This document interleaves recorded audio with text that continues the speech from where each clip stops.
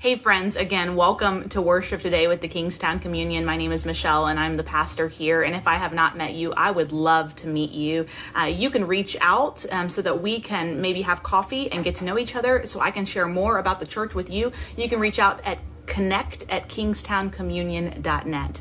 I have a few announcements for you today. One, um, camping retreat is on, and we are super excited about it. About 30 of you have signed up, um, which means that it's definitely happening the last weekend of August, and it also means that we still have room for you.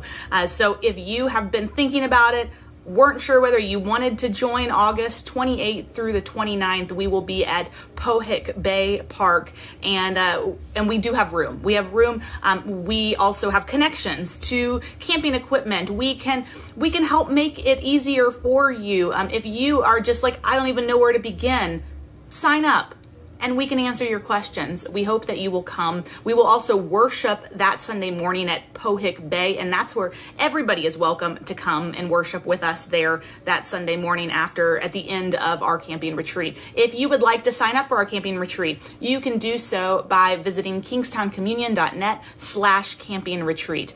We also started our um, our Acts Bible study this week, and it's one of five weeks in which we will read through the entire book of Acts, five sessions over 10 weeks. Uh, and so you'll have two uh, weeks in between each session to read the chapters that we're reading. We have only read chapters one and two so far out of 28 books in the in the um, 28 chapters in the book of Acts. And so you are not far behind. If you want to sign up and join us for session two, three, four, five, you can do that by visiting kingstownecommunion.net slash Bible study if you haven't heard, we are moving to Hayfield High School in September. And so next Sunday is our last Sunday at Laurel Hill Shelter B.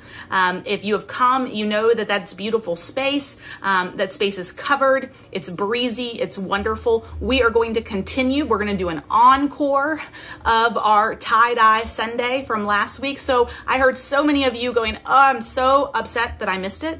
You can join us. Join us next Sunday. August 15th in person outside at Laurel Hill Shelter B at 10 a.m. Um, that will be the last time we meet there. Then, two weeks from that, we'll have the camping retreat. And two weeks from that, after Labor Day weekend, we will have our first service at Hayfield High School super excited to do that with you, to, to move into this new season of indoor worship with you. And I have so much more to share on that, um, but I will share it in, in the weeks to come. Um, as always, remember that you can give in multiple ways to Kingstowne. You can give online at kingstownecommunion.net slash give. You can give by text, and you'll see those numbers on the screen. You can give by mail to our P.O. Box, or you can give um, through Venmo, and that's at Kingstowne Communion.